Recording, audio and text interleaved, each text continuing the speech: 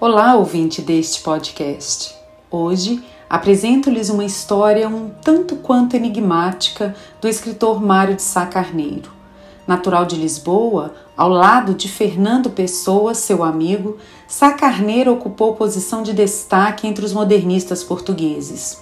Estes dois importantes nomes e outros protagonistas das letras e das artes fundaram e divulgaram os ideais revolucionários do início do século XX na revista Orfeu, veículo de comunicação vanguardista que influenciou movimentos literários de renovação da literatura de Portugal. Mário de Sá Carneiro, escritor de novela, conto, poesia e teatro, teve uma breve trajetória de vida, mas deixou uma inestimável contribuição para a literatura portuguesa. Com textos que investigam o inconsciente, a inquietação, a inadaptação à vida, a constante busca do seu próprio eu marcaram sua escrita genial e inigualável. O tema central de suas obras é a radiografia de sentimentos, atravessada por uma ironia certamente amarga.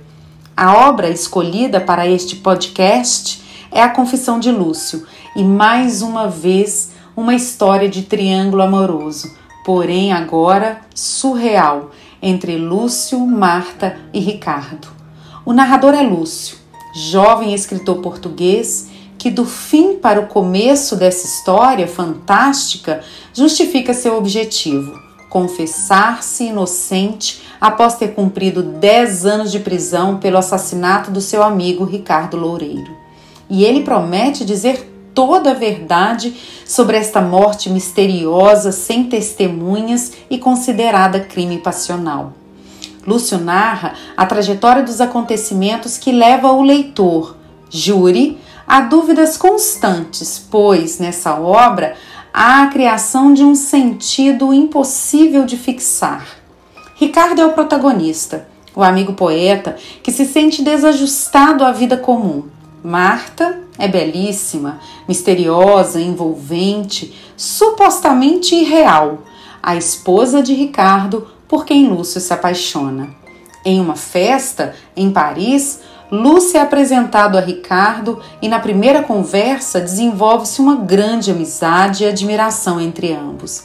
Mais tarde, eles se afastam por um ano. Ricardo se casa com Marta em Lisboa. O casal então retorna a Paris e depois de um reencontro com Lúcio, os três ficaram amigos inseparáveis. Inicio a leitura do livro justamente no momento em que Ricardo está diante de Lúcio, tentando lhe contar um segredo. E qual segredo seria esse? Que ele já sabia de tudo sobre o amigo e Marta?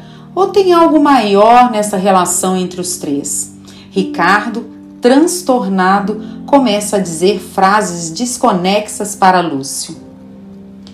Que valem os outros, entanto, em face da tua amizade? Coisa alguma, coisa alguma.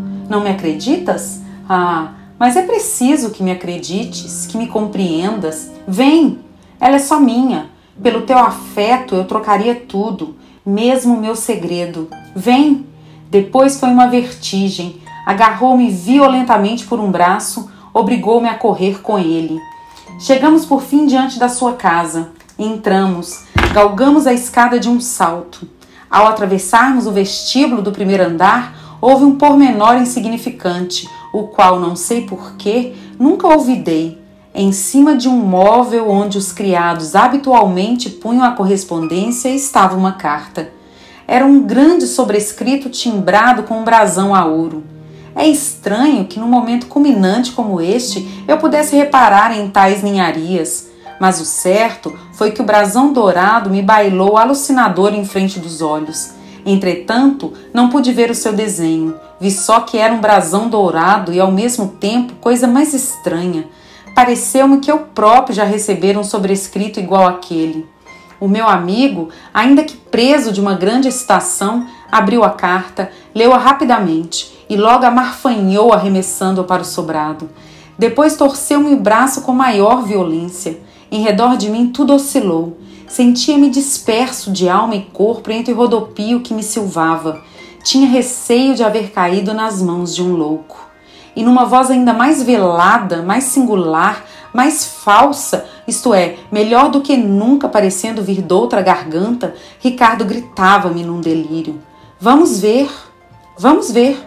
Chegou a hora de dissipar os fantasmas. Ela é só tua, e só tua hás de me acreditar. Repito-te, foi como se a minha alma, sendo sexualizada, se materializasse para te possuir. Ela é só minha, é só minha. Só para ti a procurei, mas não consigo que nos separe. Verás, verás. E no meio destas frases incoerentes, impossíveis, arrastava-me correndo numa fúria para os aposentos da sua esposa, que ficavam no segundo andar. Por menor curioso, Nesse momento eu não tinha a sensação de que eram impossíveis as palavras que ele me dizia, apenas as julgava cheias da maior angústia. Tínhamos chegado. Ricardo empurrou a porta brutalmente. Em pé, ao fundo da casa, diante de uma janela, Marta folheava um livro. A desventurada mal teve tempo para se voltar. Ricardo puxou de um revólver que trazia escondido no bolso do casaco e, antes que eu pudesse esboçar um gesto, fazer um movimento, desfechou-lo a queima-roupa. Marta tombou inanimada no solo. Eu não arredara pé do limiar. E então foi o mistério, o fantástico mistério da minha vida.